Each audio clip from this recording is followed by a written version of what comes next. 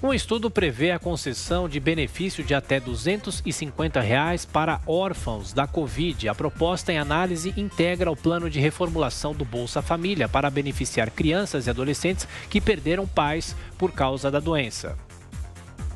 Segundo a estimativa do governo, 68 mil crianças seriam beneficiadas por essa extensão do Bolsa Família em 2022. Como se vê, a pandemia afeta as pessoas mais pobres em todos os sentidos e um desses sentidos é esse desamparo que as crianças é, muitas vezes ficam quando perdem seu principal provedor. É o governo correndo atrás para compensar o prejuízo por não ter lidado bem com a pandemia no ano passado.